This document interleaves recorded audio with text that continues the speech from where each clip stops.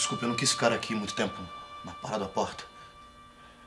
Desculpa, eu não tive intenção. Eu estava preocupado com você, queria saber como você estava. Eu já vou. Não, fique. Fique.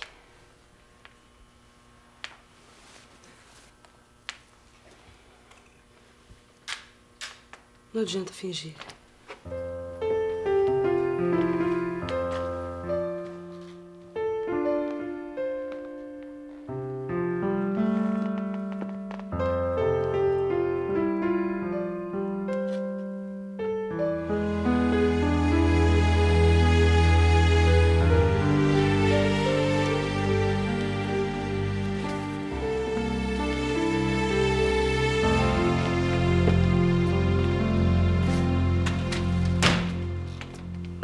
Não adianta fingir que não está acontecendo nada, porque está. Eu sei disso, você sabe. Não aguento mais, nem você.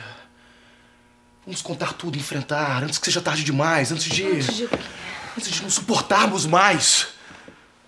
De fazermos alguma tolice. Aí sim vamos nos arrepender para sempre.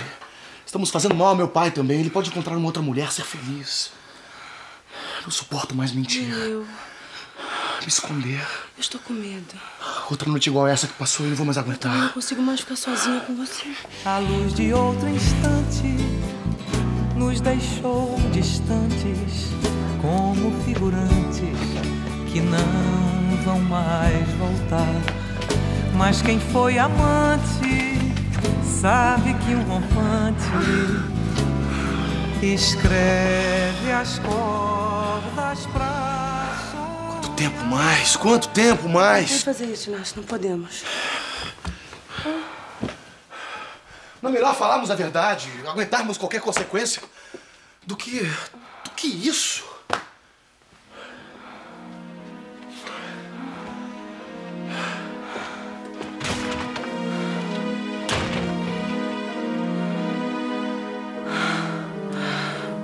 O que, que eu vou fazer, meu Deus?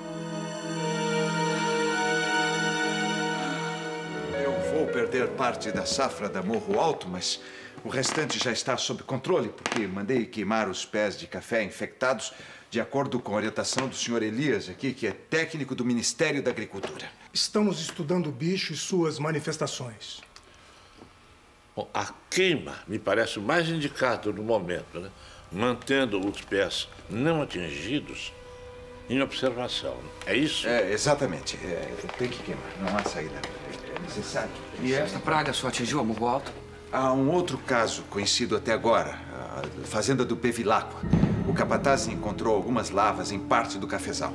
Ele já foi para lá para ver o que pode fazer, o que pode salvar. Era bom que todos verificassem as suas plantações e fizessem o mesmo que o senhor Ventura, para evitar uma catástrofe muito maior. O cafezal da Ouro Verde é vizinho do Bevilacqua. Se eu fosse o barão, eu não perdia mais tempo. Se o bicho se alastra, Vamos, meu pai. Vamos. eh, se o senhor quiser o parecer do senhor Elias, aqui, técnico do Ministério da Agricultura, creio que ele não se recusará a acompanhá-lo, barão. Agora mesmo. Louvável atitude, senhor Ventura.